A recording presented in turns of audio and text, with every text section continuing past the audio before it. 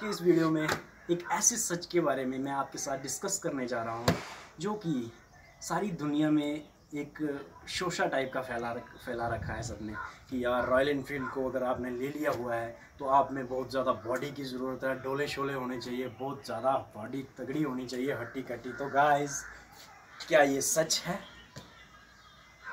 ऐसा बिल्कुल भी नहीं है। कहा जाता है कि अगर आपके पास अच्छी खासी बॉडी है तो अगर आपने रॉयल इनफील्ड का स्टैंड लगाना है तो भाई आपको अच्छी खासी बॉडी होनी चाहिए कि अगर आपने स्टैंड ही लगाना डबल स्टैंड जो आपकी लोग लगाते हैं।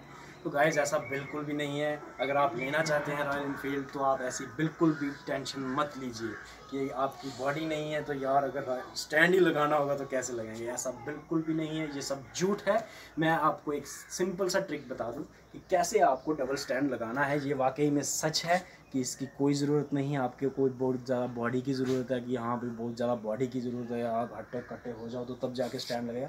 ऐसा कुछ भी नहीं है। ये 500 सीसी है। इससे आई थिंक रॉयल इनफील्ड में 500 सीसी तो काफ़ी भारी बाइक है तो मेरे ख्याल से इसमें डबल स्टैंड लगाने में कितनी प्रॉब्लम आती है तो मैं आपको दिखा देता हूँ। क्या प्रॉब्लम है या कैसे लग सकता है? ये कोई बड़ी बात नहीं है इसका स्टैंड लगाना। आइए मैं आपको दिखा दूँ।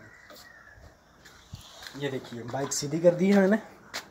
बाइक सीधी करने के बाद ये देख लीजिए, ये डबल स्टैंड को नीचे रखा।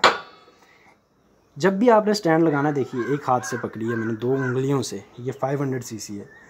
नीचे से पैर को उधर से लगाइए डबल स्टैंड को बराबर रख लीजिए। ये एक सिंपल सा ट्रिक है। इसमें कोई भी आपको पावर ज़्यादा पावर की ज़रूरत नहीं है। सिंपल सा ट्रिक है।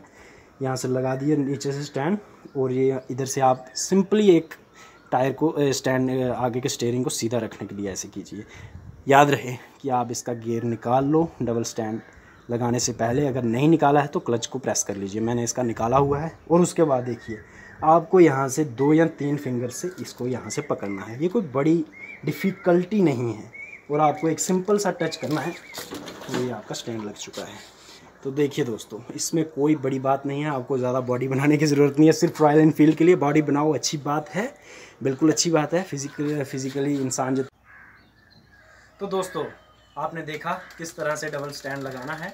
इसमें कोई बारी आपको बड़े डोले शोले बनाने की ज़रूरत नहीं है। ये सिंपल एक ट्रिक है और ये बिल्कुल झूठ है कि आपको बॉडी बनानी है एक डबल स्टैंड लगाने के लिए। ऐसा कुछ भी नहीं है, ये सिंपल ट्रिक है और ऐसे ही रॉयल इनफील्ड के रिलेटेड और अच्छी से अच्छी फीचर्स और ड्राबैक्स जो भी रॉयल इनफील्ड के रिलेटेड हैं, आने वाली वीडियोज़ में मैं आपके लिए लाता रहूँगा। प्लीज़ मेरे चैनल को सब्सक्राइब करें। जय हिंद थैंक